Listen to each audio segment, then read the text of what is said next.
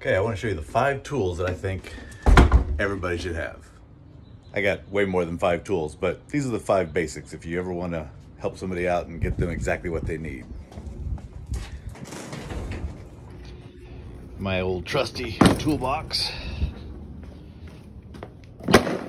Okay, what do we got here?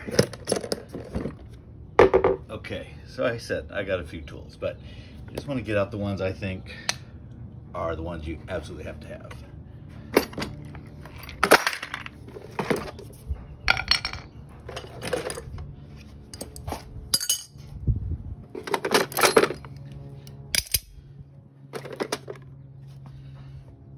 And a bonus one. Where's my bonus? Oh, right there it is.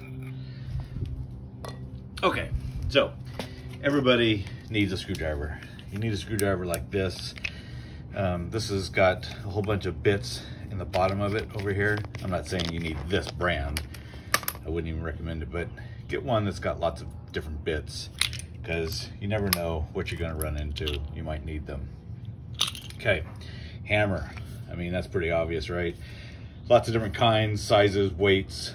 You need one that'll pull a nail for most applications and a smooth face so you don't mar up, you know, damage something that you're tapping. Crescent wrench, uh, adjustable wrench.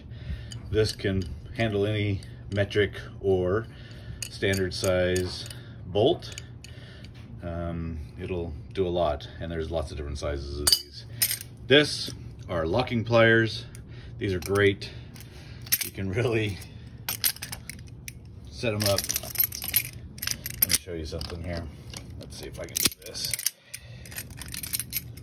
They really hold anything tight. And, you know, if you've got a bad bolt or screw or nail that you need to take care of, those are great. Here's a pair of pliers. I think these are lineman pliers. I think that's what they're called. But anyway, they cut wire with this part. And then obviously pick things up, pull things with that part, okay?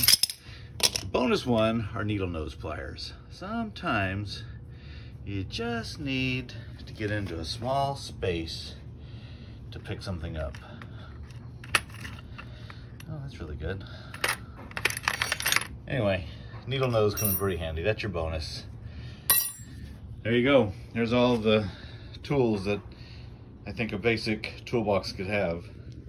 I have a few more, but we'll go into more detail about other ones at some other time. Anyway, have a great day. Hope that was useful information. Let me know in the comments which five or six you think are the most essential if you uh, disagree with mine. Thanks.